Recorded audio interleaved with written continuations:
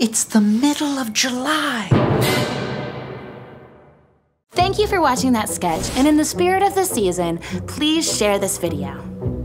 Oh man, I got chocolate all over my hands, as long as it's not on my face. I'm good.